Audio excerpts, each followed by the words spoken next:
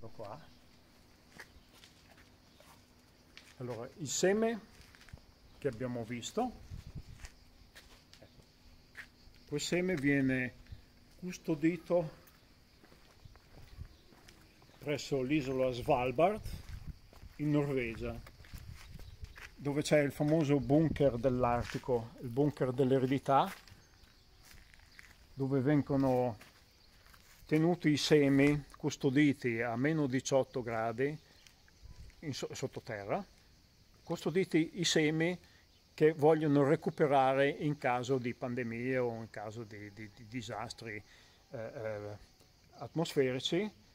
come è successo in primavera per il grano dell'Ucraina,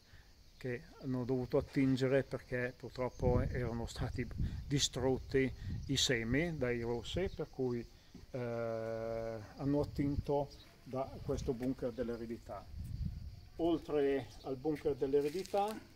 questo seme viene custodito anche presso l'Università di Pavia, la banca del seme del professor Rossi, dove anche lì